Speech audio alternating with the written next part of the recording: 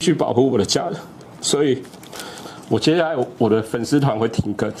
直播镜头前边哭边诉说委屈，脸书粉砖林北好友版主林玉红日前声称自己遭到恐吓威胁，没想到这段悲情事泪。龙 o 给许姓嫌犯他曾经在云林工作过，那林姓版主他也从事跟农业相关的一些工作。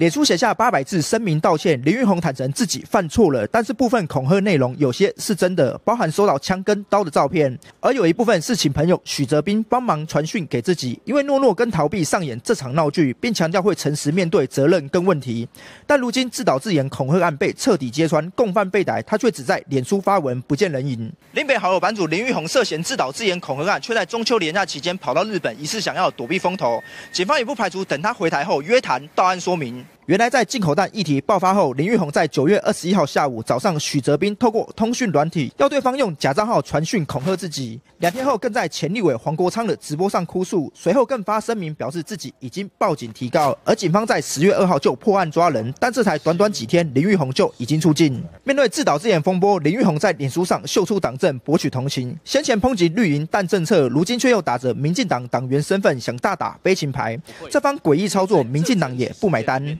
因为在这整起事件里面，你根本就找不到任何一个跟民进党有关系的人。至于他为什么会有那张党证，他为什么入党，这不得而知。吕玉红质疑进口蛋，却找台阶退场，借此停更粉砖，却用一系列自导自演恐吓戏码想做收尾，没想到最终谎言全被戳破。当时在节目上哭得多惨，恐怕现在换来的骂声就有多惨。继续为一凯去张全超报道。